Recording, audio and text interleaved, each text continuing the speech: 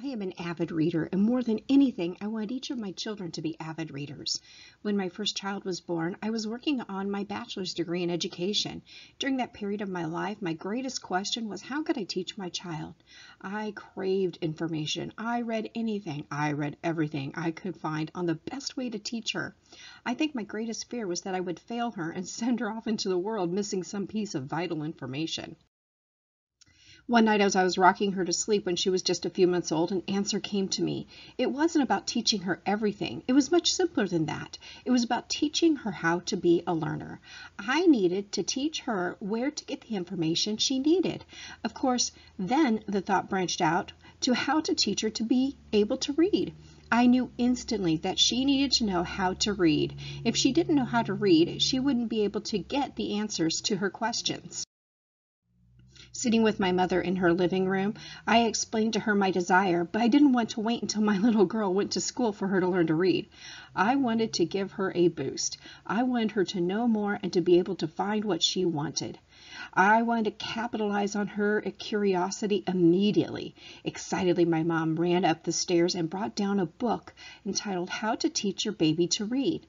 I had seen it on her shelf. I had helped her to pack it up many times as we moved during our lives, and she shared how she had used these simple methods with her children and knew they would work. I have included a link to this in the description for the video. I could hardly wait to get back home though, and I dove into the book and I read it cover to cover in one day. Then I went about implementing the practices in the book. It was so simple. Soon I had an eight month old baby that could read about two dozen words. I was thrilled about her learning growth and I quickly brought her to Purdue University where I was studying and had her demonstrate what she could do to my professors. Of course she was a prodigy and there would never be anyone as smart or as intelligent as my little girl and I was sure of it. So I made sure to teach her by reading by example. Each day we read children's books together. My finger followed along the words as I read. I read out loud what I was reading for myself even. I read quietly and I let her see that I enjoyed reading too. When she was too old for naps, we renamed nap time to quiet time and filled it with reading. Quiet time became my favorite time of the day when each child would pull out a pillow, a blanket, a book, and sprawl across the living room floor or family room floor and furniture. I loved listening to them and listening about what they were reading. It was exciting that one of their favorite things was to laugh at a funny part or to share something or the day that my oldest son cried while he was reading because his favorite character had died. This continued, and each of my six children read. They love to read. Sadly, though, I started cursing that they could read so much when my Amazon and my Barnes & Noble bookstore trips became extremely expensive. Of course, we use the library as well, but there are times when you simply have to have a new release, like when each of those Harry Potter books came out. There were few greater joys in my life than when my children were with me and they shared with me what they were learning and what they were reading would you ever want to teach your baby to read? Well, there are a few really good statistics which helps to really prove this point. For instance, the greatest amount of brain growth is going to occur between birth and age 5. In fact, by age 3, about 85% of a brain's structure is already formed. And at birth, your baby's brain is only 25% of an adult size. By age 3, however, it'll be 80% of the adult size. So you can see how much it's going to grow just within those couple of years. By age two, children who are read to regularly will display greater language comprehension, larger vocabularies, and even greater cognitive skills than their peers. Children who are read to at least three times a week by someone are twice as likely to score in the top 25% in reading and academics compared to children who read less than three times a week.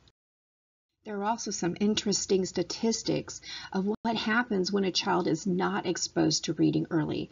For instance, 37% of children are going to arrive at kindergarten without any of the skills that they need for lifetime learning. 25%, that's one in four of children in America, are going to grow up without learning how to read at all and there is almost a 90% probability that a child will remain a poor reader at the end of fourth grade if they're a poor reader at the end of first grade.